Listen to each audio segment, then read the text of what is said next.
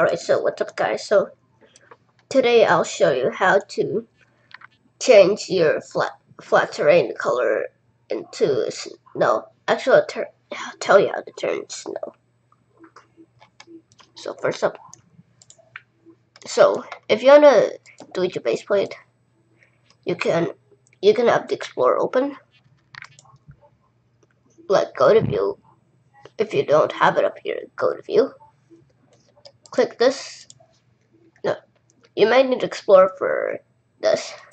So if you don't have it, it's right here. Alright. Open up the editor. Open up regions. Select where you want your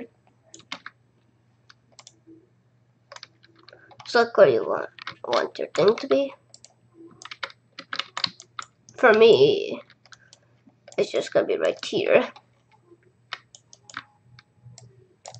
So that's how much it can go up to.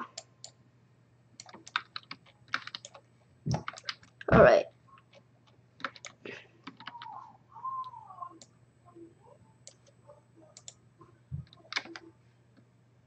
Oh, I messed up. So, I'm just gonna have it on the on the top right now. Now fill. Fill this in.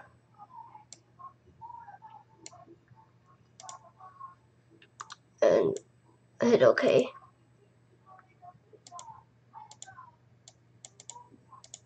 There. There you go. Now go back to terrain.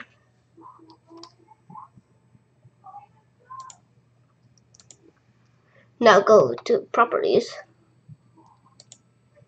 So if you want to turn snow in there. Boom.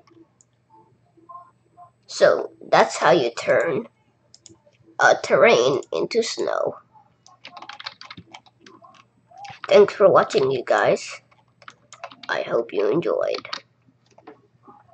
Also, I think also I think there might be also oh we could have just used snow, but anyways. If you want to use snow, you can. Bye guys, I hope you enjoyed this, my very first Roblox Studio tutorial. Bye guys.